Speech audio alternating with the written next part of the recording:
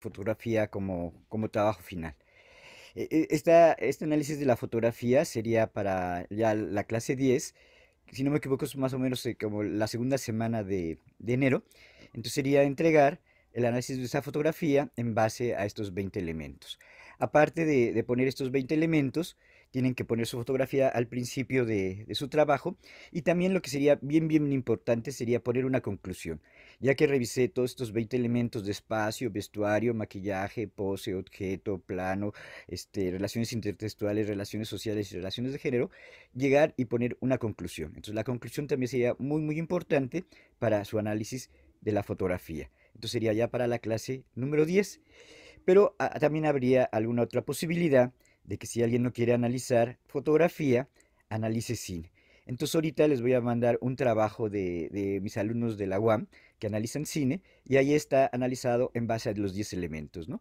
En estos 10 elementos que, que ahorita en la exposición nos presentaban los compañeros, ¿no? El título, la imagen, el movimiento de cámara, el sonido, el personaje, el montaje, el espacio y el tiempo. Entonces en base a esos 10 elementos, a lo mejor también podían analizar alguna película. Y también les voy a mandar este, un modelo para analizar la televisión. En ese modelo para analizar la televisión se repiten los mismos elementos porque se basa en un texto de Francesco Cassetti que se dedica a analizar el cine. Entonces también nos habla de los mismitos elementos. Nos habla de los elementos de la imagen, nos habla de los elementos del sonido, nos habla de los elementos de la narración. Entonces pueden utilizar el modelo que ahorita les voy a mandar de análisis de la serie de televisión o el modelo de mis alumnos, que sería un trabajo que tiene 12 puntos.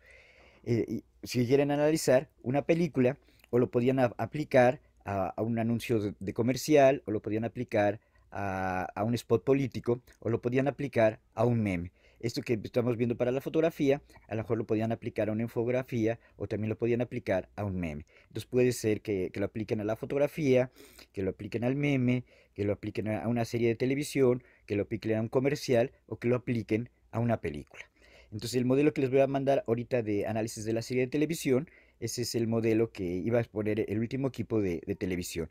Ese ya no habría que entregar este reporte o control de lectura, solamente si quieren analizar algo de cine o si quieren analizar algo de televisión, se leen este, este, este modelo de análisis de la serie de televisión. Pero ya no se entregaría ningún control de lectura, solamente para la clase número 10 sería el trabajo final de fotografía, de cine o de spot político o de comercial. Entonces vamos a- a pasar porque este para que